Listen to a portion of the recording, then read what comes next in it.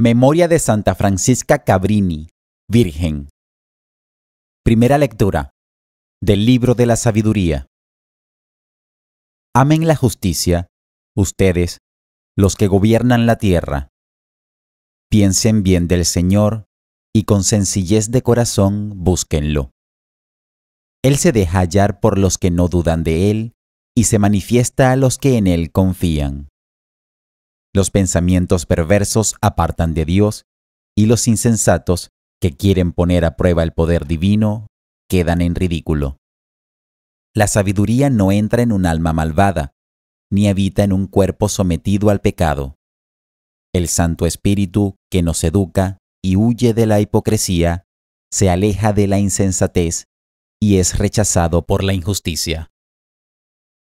La sabiduría es un espíritu amigo de los hombres, pero no dejará sin castigo al que blasfema, porque Dios conoce lo más íntimo del alma, observa atentamente el corazón y escucha cuanto dice la lengua.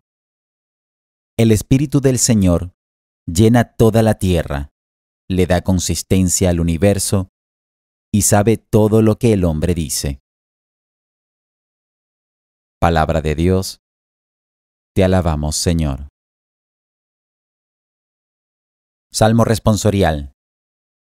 Condúceme, Señor, por tu camino. Tú me conoces, Señor, profundamente. Tú conoces cuando me siento o me levanto. Desde lejos sabes mis pensamientos. Tú observas mi camino y mi descanso. Todas mis sendas te son familiares. Condúceme, Señor, por tu camino. Apenas la palabra está en mi boca, y ya, Señor, te la sabes completa. Me envuelves por todas partes y tienes puesta sobre mí tu mano. Esta es una ciencia misteriosa para mí, tan sublime que no la alcanzo. Condúceme, Señor, por tu camino. ¿A dónde iré yo lejos de ti? ¿Dónde escaparé de tu mirada?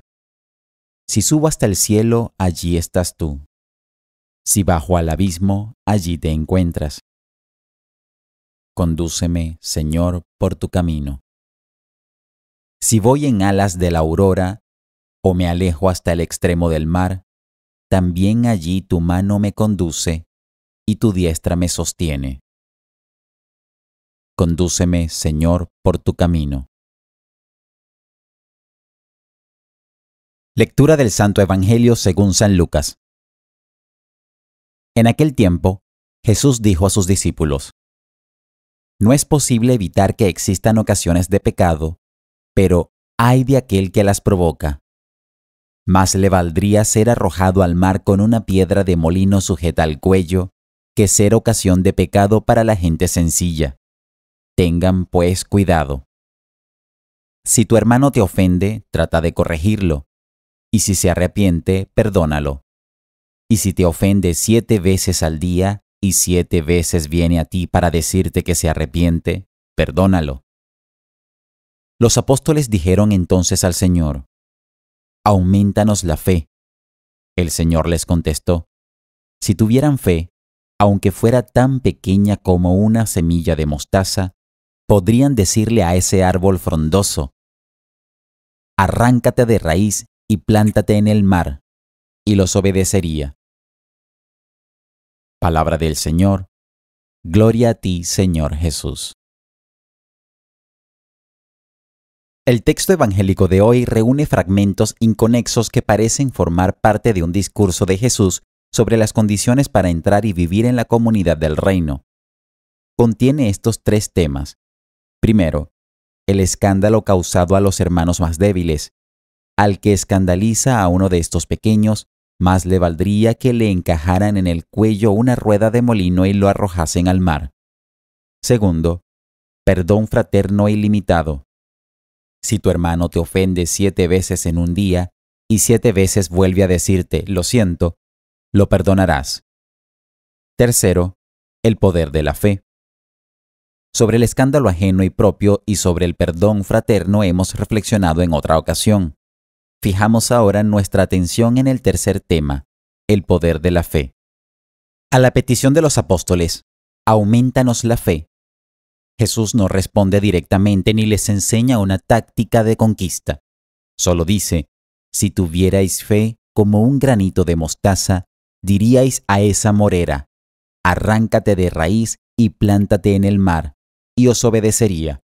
Exageración intencionada. La condición sí es lo que limita el poder de la utopía. Los discípulos piden cantidad, pero Jesús habla de calidad. Bastaría un poquito de fe con tal que fuera auténtica. Fe es una palabra muy corta en letras, pero muy larga en significado y alcance, similar a otros dos monosílabos, sí y no, que pueden decidir toda una vida. La súplica de los discípulos responde, sin duda, a una situación vacilante de ellos mismos o de la comunidad cristiana en que se gestó la redacción de los Evangelios, situación de crisis, frecuente por lo demás en la vida de cualquiera. No es un tópico decir que corren tiempos difíciles para la fe, tiempos recios, como decía Santa Teresa de Ávila hace siglos. Nunca ha sido fácil creer de verdad, pero la duda y la inseguridad parecen ser hoy un elemento del esquema existencial de muchos. Hoy, cuando han caído tantos apoyos sociológicos de una fe tradicional o heredada y hay menos condicionamientos ambientales y menos tabúes sociales, resulta más difícil creer. Y no solo hay crisis de fe religiosa, también humana. La reluctancia a creer se hace extensiva contra todo programa social, político y económico. Surge el desencanto, el escepticismo y la indiferencia tanto en los adultos como, sobre todo, en las nuevas generaciones. Entonces brota en el corazón la indignación ante la injusticia y clamamos doloridos, ¿Hasta cuándo, Señor? O bien pedimos con los apóstoles, Señor, aumentanos la fe. Pero, ¿en qué consiste la fe? La fe está más allá de toda definición porque pertenece a la esfera psíquica de la persona al entramado y contexto de la experiencia religiosa y personal, al contacto vivencial con Dios en nuestro ser más íntimo. Por todo ello, la fe se sitúa en el ámbito de las vivencias y valores como el amor, la amistad, la alegría, la esperanza, el miedo, la confianza en alguien, en una promesa o una palabra dada. La fe es seguridad de lo que se espera y prueba de lo que no se ve. Esta es la definición bíblica. La fe en Dios existe realmente y se posee como don suyo al hombre, pero es difícil y hasta ocioso el tratar de definirla. Escapa a toda medida física de peso, volumen, longitud y profundidad para entrar en el nivel del espíritu. Por eso es más fácil saber cada uno si tiene fe, si poca, si mucha, si la ha perdido. Puede parecer desilusionante, pero la fe no nos da ventaja temporal alguna, ni es estatuto de privilegiados, ni droga alienante o anestesia ante la dura realidad, ni talismán mágico para resolver los problemas sin costo adicional. Tampoco es posesión vitalicia, adquirida de una vez para siempre. Puede perderse si no se cuida. Sin embargo, la fe es don gratuito de Dios que hemos de pedirle continuamente lo es todo en nuestra vida de cristianos, porque nos da una luz que todo lo ilumina, porque es optimismo, alegría y fuerza de Dios que nos infunde el temple y el talante de Jesús, todo un estilo nuevo de enfrentarnos a la vida para dar la cara por Él. Por eso la fe en Dios no es reaccionaria, sino progresista y constructiva de un mundo mejor, más humano, más justo y más fraterno necesitamos tanto una fe viva y operante. Profundicemos y personalicemos más y más nuestra fe mediante la oración, el estudio, la lectura bíblica, la meditación y los grupos de fe para la acción. Y pidamos siempre, Señor, aumentanos la fe. Gracias, Señor Jesús porque en el Evangelio nos muestras hoy el poder de la fe auténtica. Tú eres, Señor, el interlocutor con quien hablamos, y tú, Jesús, nuestro modelo en el diálogo de la fe.